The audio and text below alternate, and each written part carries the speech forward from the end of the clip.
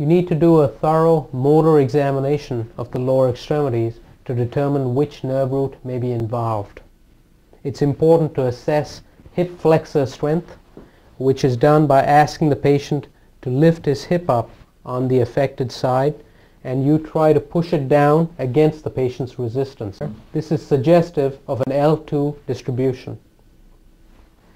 Test their knee extension by having the patient straighten his leg out and keep the leg up while you try to flex the knee back down.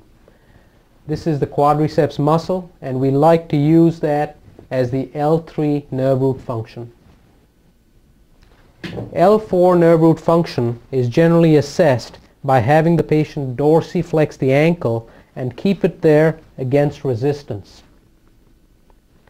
L5 nerve root function is assessed by having the patient extend his big toe and testing the extensor hallucis longus against resistance. S1 nerve root function is tested either by testing the peroneal muscles for eversion of the foot and testing against resistance or by having the patient push down on your fingers and testing for strength in the gastrosoleus complex. This is often difficult to test because this is such a powerful muscle and another way to test S1 function is by having the patient do single leg toe lifts on one side and comparing that to the opposite side. Abnormal reflex function in the lower extremities may also suggest nerve root problems. The common reflex is the Achilles tendon reflex, which is suggestive of S1 function. And the second reflex is the knee jerk, which is suggestive either of L4 or L3 nerve root function. The pathologic reflexes in myelopathy in the lower extremity are the Babinski reflex, where scratching the outer border of the sole of the foot reflexly results in extension and splaying out of the toes. The normal Babinski would be a flexor response where the toes flex and come together. Other reflex changes in myelopathy are the absence of superficial reflexes. So we should test the superficial abdominal reflexes in all four quadrants. And in some cases, we may need to test for absence of the cremasteric reflex to confirm the presence of spinal myelopathy. To be complete with any spine examination of the lumbar spine, we must rule out associated or primary problems with the hip joints or with peripheral circulation. I like to assess the hip assess the hip by testing rotations of the hip joint you can do that very simply by testing internal and external rotation of the hip joint in the seated position or by testing flexion of the hip by having the patient flex his hip up.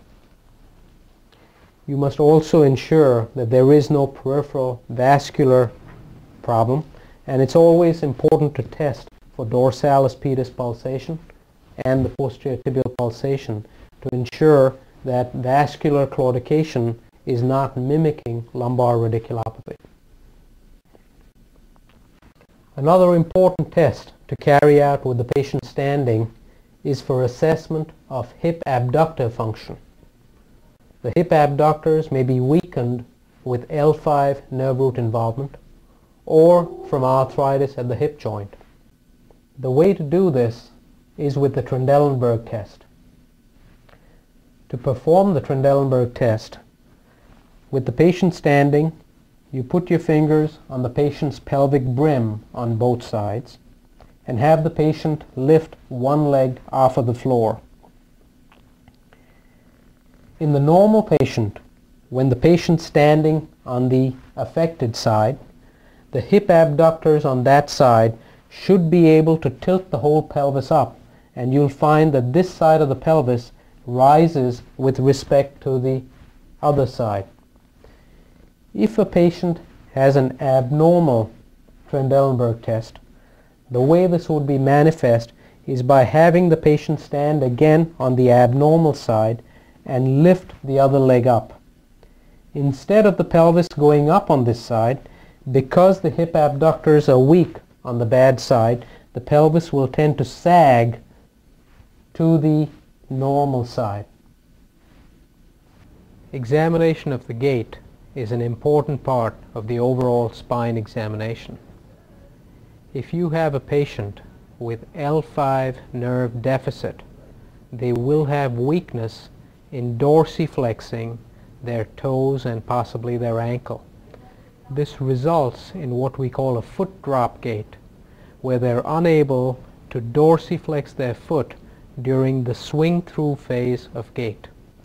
So instead of walking with a normal heel toe pattern like this, they walk with a foot drop gait which goes like this.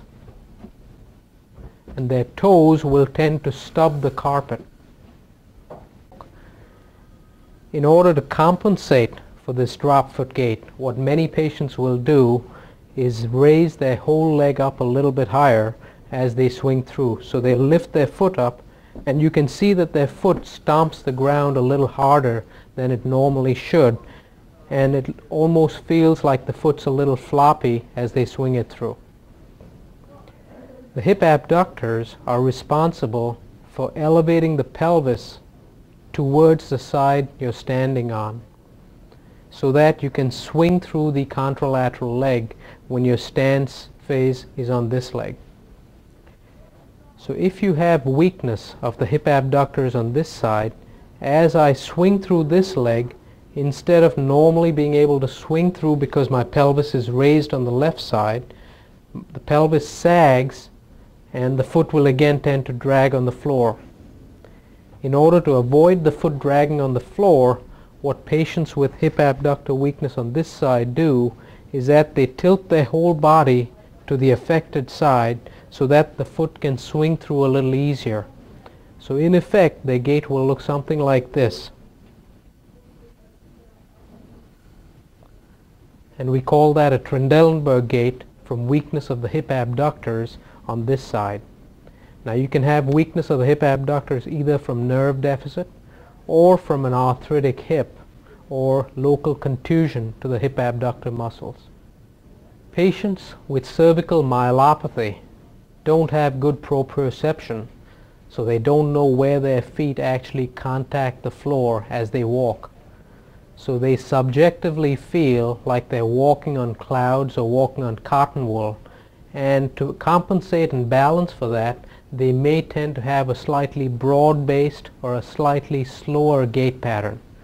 So if you see a broad-based pattern where patients are trying to almost seek their balance and seek their footstep, then be suspicious of a myelopathic type ataxic gait pattern.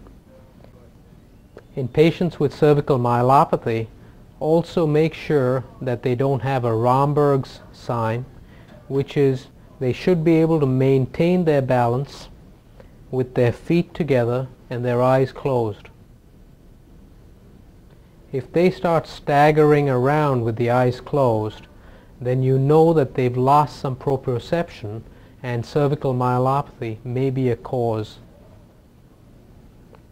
Also assess whether they can do a tightrope walk which gives you a good sense of what their proprioception and overall long tract control is like. Oftentimes people with myelopathy will be unable to walk in a heel-toe fashion and will stagger or stumble when they're trying to walk in this fashion.